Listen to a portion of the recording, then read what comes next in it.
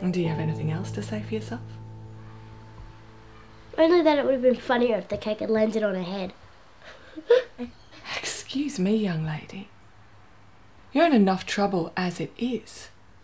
I wouldn't be making things worse if I was you. I didn't even know I'm in trouble. I didn't do anything. So you're saying you didn't have anything to do with the disturbance this morning? No. Seems that Mr. Callahan will be receiving a call from me then. That's the final straw for Bianca, I'm afraid. But Bianca had nothing to do with it.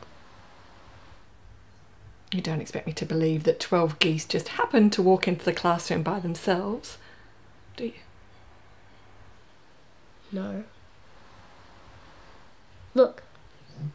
Fine. I did it. Bianca had nothing to do with it. Well, she wasn't involved. Who accessed the classroom keys? I just found them. No, no, no. I swear, Bianca wasn't involved. This is your last chance to come clean. You've already lied once. If you insist on sticking to this ridiculous story, then I'm going to have to suspend you.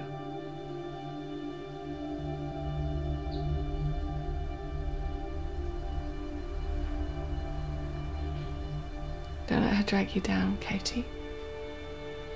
Loyalty to a girl like Bianca will get you nowhere in life.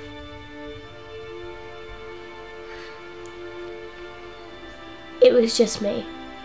Bianca didn't have anything to do with it.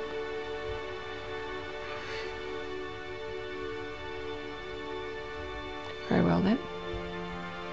Let's see what your parents have to say about this.